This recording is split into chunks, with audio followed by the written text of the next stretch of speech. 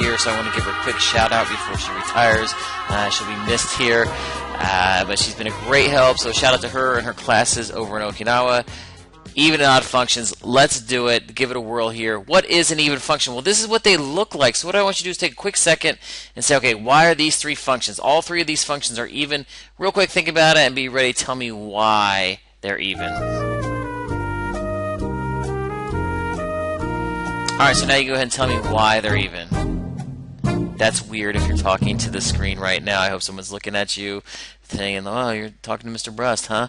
Uh, so why they even, hopefully you came up with their symmetric, right? Check this out. If I draw a line right here, boom. This is the axis of symmetry for all these. So even functions are symmetric. Well, how are they symmetric? They are symmetric about the y-axis. So if you fold it in half on the y-axis, it's going to be a mirror image. So that's nice, easy way, way to tell what an even function is. So graphically, it's nice. You just can you draw the axis symmetry? How about odd functions? A little bit trickier to see, but here are three odd functions.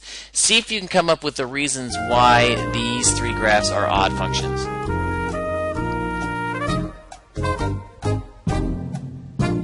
Alright, so again, hopefully you came up with they are symmetric. This was not quite as easy to see. It's not just folding along the x or y axis. Uh, what actually happens is if you take this piece right here, it's symmetric around this point, the origin. So what we call it's symmetric about the origin. Now it has a couple different names. We're going to use symmetric about the origin, but you could say it has point symmetry because it's symmetric around this point. It's also a rotation. What we're doing is we're rotating this chunk right here to make this chunk over here. It's 180 degree rotation. So this piece slides around to make that piece. So again, this is symmetric here. If you think about this piece rotating, so let's say I'm rotating it a little bit so it looks like this and then a little bit more and then a little bit more and then a little bit more finally after 180 degree rotation it gets to that that looks crazy but I can keep rotating and what does that look like it looks really cool. It's a pinwheel. That's kind of hurt my mind. So it's a pinwheel. It's one way that you may remember it is uh, pinwheel. And I think about this. Check it out. Maybe this visual help. Check out this pinwheel. Whoa that's weird with the line on it I can't get rid of it. But check this out. Oh, look at that. That's cool. Symmetric about the origin. Imagine the dog food bowl is the origin. Here are these little dogs uh, going around it. You're rotating around that origin until it gets the other one. That's cool. I could watch that all day long. That's exciting. That's way more exciting, Mr. Sullivan or uh, Mr. Kelly's videos. Uh, so this piece, so again, it goes back to this. You could do a 90 degree rotation would be this. This is a 180 degree rotation. This is a 270 degree rotation. So we're going to use symmetric around the origin. Um, I'm kind of getting motion sickness. Let's get rid. I can't get rid of it. They don't want to go. The dogs don't want to leave. Uh, so that's odd functions there, symmetric around that. So can we look at some graphs? Are these functions even, odd, or neither? So before we get to the actual graphs, I thought we'd actually look at a couple of pictures here. So the first picture, let's look at Mr. Sullivan. Uh, don't this picture you would think is an odd picture of Mr. Sullivan.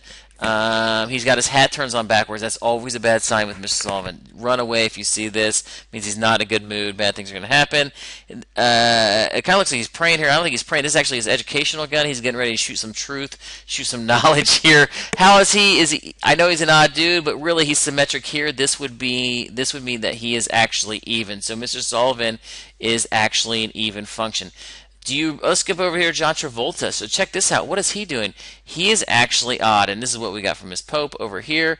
Not that Miss Pope's odd by any stretch. This is one part of it. If you do the rotation, this is the other part of it, his other arm. So John Travolta is odd. He is when he's dancing in Saturday Night Fever is odd. I thought of more dancing would be what uh, YMCA. Remember Village People? You know the Y is obviously symmetric. Uh, the M is symmetric what is the C? It's neither. It's not down the middle. It's not rotation. So this is actually none. This is neither. And then this is also a lot of even. So for the most part, YMCA is pretty even. They do get a little, odd. they don't get odd. I mean, they look odd. Like their little theme was pretty odd, but uh, not the thing. So let's clear these out and look at the real graphs right here. Looking at these, real quick, go burn through these and see what you think on these.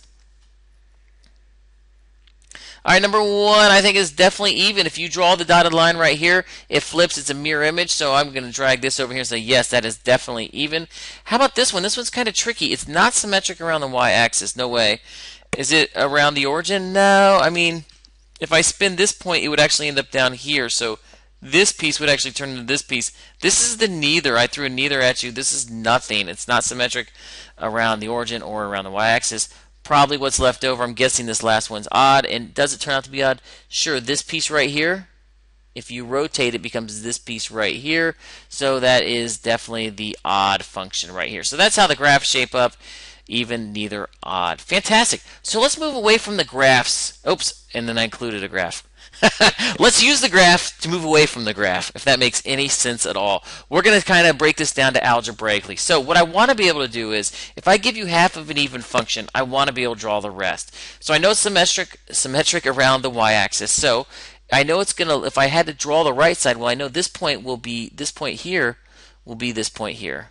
And I know the x-intercept here will be the x-intercept here. They're all mirror images, yeah? So it's just the mirror image of what's happening and it's going to look something like this. It's going to go straight back up, come back down, and then back up. Maybe yours is a little bit straighter than mine, but you kind of get the idea.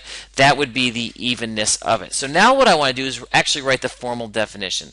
So when I look at this, it's easy to see negative 1 and positive 1 are the same point. Aren't they both? They're both 2, right? So that point up there is negative 1 comma 2 is that point. And this is positive 1, 2. So you can see the y values are the same. So how we'd write that is we'd say the f of negative 1 equals 2 and the f of 1 equals 2. Or since they both equal 2, can't we just say the f of negative 1 equals the f of 1? That's the same thing. So this must be true for every single x. So we just kind of did that numerically. We looked at one single point, but I want to do it forever. So what am I going to do? If I pick this point negative x, it's going to make what? It's going to make the f of negative x. I don't know what that is, just like the f of negative 1 made 2. I'm going to plug it into my function. So this is a more generic way to write that point. And this is pretty good if you can start thinking in terms like this. This point down here is actually negative x, f of negative x. So what does it match up? It matches up with the positive x. And what is this point? This is the positive x is the f of x. So that's that point right there. It's what comes out of my function. So here I defined it with numbers. That's great. You can count, but maybe I don't have the numbers. So I'm really saying what has to be true. I'm saying, in this case, I called x1 as an example because I like numbers. But really I'm saying the f of negative x must equal what? The f of x. If that's true, you are in business. So that is the actual formula. So any x over here, the when I plug in x and I get a, uh, the f of x, it must be the same thing over here. They must match up. Uh, and the better your drawing is, the better that'll look. So that's the rule. Write that down, have that, and we're good to go. How about this? Let's try to draw the odd side of this. So the odd side, this point actually rotates around and comes up to here. This point rotates around and comes to here. This guy over here rotates around down to here in this last intercept goes to here. So when I draw this one, it goes up, down, and back up. Something like that. So that is an odd function. I did that little pinwheel. Don't make me break the dogs out again. It's spun around there. It's kind of spinning around. So now it's weird because check this out. If this is my point x right here, well this is my this is the f of x. Remember this is what comes out up here. This is the f of x the y value. Essentially, that's the you know the way of saying y.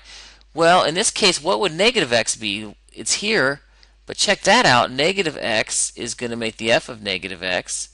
But you can see they don't equal each other. Here they matched up perfectly, right? These two match these two. These two match these two. This matches like everything had a mirror. They were the same. This is not a match. So Let's try it with some numbers real quick because numbers kind of help help my brain a little bit here. Uh, if I say the f of negative 1, it's going to equal what? It's going to equal negative 3 according to my picture. Just like the f of 1 equals what? Positive 3. So they don't equal each other this time. Bummer.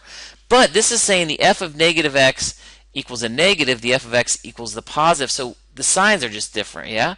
That's our only problem. So really I'm saying the f of negative x, when I plug in negative x, I get this point down here, which is opposite of this point. So I don't, I can't say it equals the f of x, it equals the negative f of x.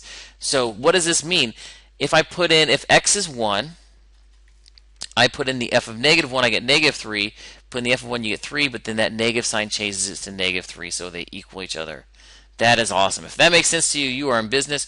Uh, if not, for now, just memorize the formula, play with it, practice it until it really starts flowing for you. Uh, but those are two rules to prove even and odd. So, can we do it without a picture? Sure. Let's just go ahead and solve these. I'm going to give you some pointers as I go. I want to know is the function even, odd, or neither? So when I look at this right off the bat, what am I looking at? Well, I see a cube here and a 1. That's odd. Those are odd numbers. So I'm guessing it's odd. So I'm going to start off by saying, okay, is this an odd function? So I'm going to say, does the f of negative x equal the negative f of x? So this is like an algebraic proof. And I don't know, so I'm going to put a little question mark here. I don't know, is this going to work out or not? So into my function, I'm going to plug in negative x. So wherever there was an x, replace it with negative x. So this is going to look like negative 2. Replace x with negative x, cube it, 5 times negative x. Awesome. Does that equal the negative? And again, put this in parentheses here. It's the whole function. Negative the function. So my function, I'm just going to rewrite it. And it's going to look something like this. And then now it's just a matter of simplifying. So what happens when you cube a negative? Well, a negative to an odd power is still negative. So I've got negative 2 times a negative is positive 2x cubed.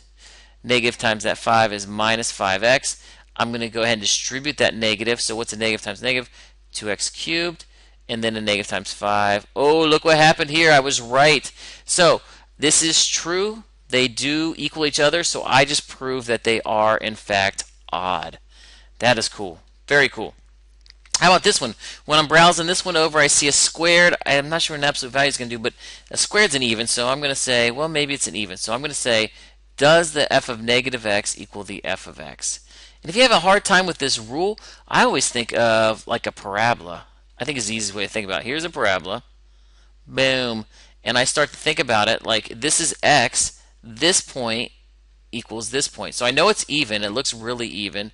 Symmetric. See how the x, this point equals this point? So I know the f of x equals the f of negative x. So that's an easy way to remember, uh, for me anyway, the, the evenness is that is that appropriate? Evenness? I like it. Let's use it. Evenness. So, is this one even? So, this is a question mark. I don't know. Is this going to be even? So, we're going to plug in negative x wherever there's an x. So, I'm looking at negative x squared plus 1 all over the absolute value of negative x. Does that equal the function? So, I'm just rewriting it here. So, that's nice and easy. Kind of just rewrite it. So now let's simplify it. Remember, to an even power, it's going to be positive. So negative to an even power is positive. So I'm looking at x squared plus 1. What's the absolute value of negative x? It's positive x.